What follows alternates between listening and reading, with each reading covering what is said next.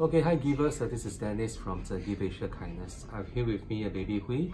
Baby Huy is uh, almost four years old today, and uh, you look at him right now, he's actually very scared because uh, at such a young age, he has gone through at least like eight chemotherapy. And please have some uh, heart for him because he's actually suffering from the neuroblastoma, which is a kind of uh, cancer, and he's actually too young to go through this hardship. And since in Vietnam itself, they cannot uh, help him, so he's coming to Singapore. And here, you have to go through another three to four intensive chemotherapy followed by stem cell transplant or bone marrow transplant. So we are seeking your help. We are seeking your help to, to you know give this boy a chance so that uh, he can live. Thank you very much.